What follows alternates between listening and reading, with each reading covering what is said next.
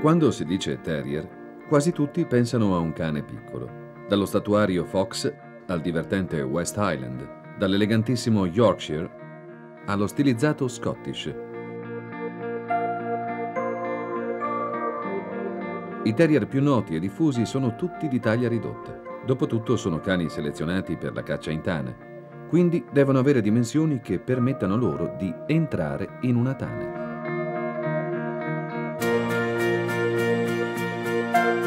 L'Airedale moderno non è più adibito alla caccia alla lontra, con grande soddisfazione delle lontre stesse, e non ha più nulla a che fare neppure con il ratting, nonostante esso sia ancora praticato in alcune zone degli Stati Uniti.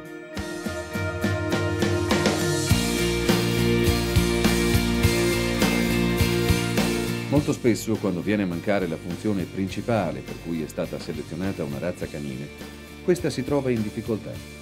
Alcune razze si sono addirittura estinte. Questo rischio però non ha mai sfiorato l'Airedale, che ha subito mostrato doti caratteriali troppo spiccate per essere ritenuto solo un terrier. Primo, è un cane dolce e docile, anche se la parola docilità va presa con le dovute cautele. Nessun Airedale sarà mai facile da addestrare come un pastore tedesco, perché non sarà mai un cane che obbedisce pedissequamente agli ordini. Rispetto a tutti gli altri terriers, però, siamo su un altro pianeta. L'Airedale, paragonato per esempio a un fox, è uno zuccherino travestito da cane e merita indubbiamente la palma del più docile terrier del mondo. Secondo, l'Airedale è un cane grande, dotato della potenziale aggressività tipica dei terriers più piccoli.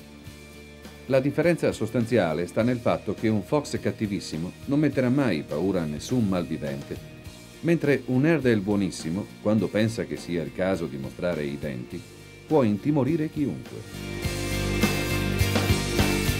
All'inizio del Novecento, l'Airedale si diffuse in tutta Europa, specie in Germania, in America e in Giappone.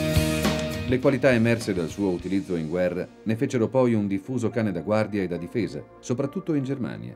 Negli Stati Uniti, invece, si è rivelato un ottimo retriever, specie in presenza di acqua o neve. Il suo utilizzo come cane da difesa ha fatto ritenere a molte persone che l'Airedale fosse un cane duro, aggressivo, poco adatto alla vita familiare e soprattutto ai bambini. La realtà è completamente diversa perché oggi l'Airedale è soprattutto un cane da compagnia. Ha anche una buona attitudine a compiti di guardia e difesa, ma si diverte molto di più ad esibirsi nei più classici esercizi da circo e naturalmente a giocare con i bambini. Ma non basta. Molti cani giocano volentieri con i bambini a giochi da cani, come rincorrere una palla. L'Airedale invece gioca a misura di bambino come si può chiaramente vedere in queste immagini. La pazienza dell'Airedale con i bambini è davvero senza fine. Sono disposti a lasciarsi tendere agguati dal feroce leone che li insegue nell'erba e anche ad interpretare la parte del passeggero con il bambino nella parte della mamma che spinge il passeggino. Ebbene sì, l'Airedale è un po' pagliaccio. Sa fare irresistibili facce buffe, sa morire con notevoli capacità interpretative se il padrone gli spara e per di più gli piace intavolare conversazioni, rispondendo alle domande con precisione e grande senso logico. Ma senti, ma senti, ma andiamo a passeggio? A passeggio? Sì. Questo però è solo il lato della medaglia riservato agli amici. Con i nemici è tutt'altro paio di maniche. È un cane tagliato con l'accetta, ma piace moltissimo. Può incutere timore, ma chi vive al suo fianco strappa solo sorrisi. È tranquillo e paziente, ma sa anche scatenarsi in modo irrefrenabile.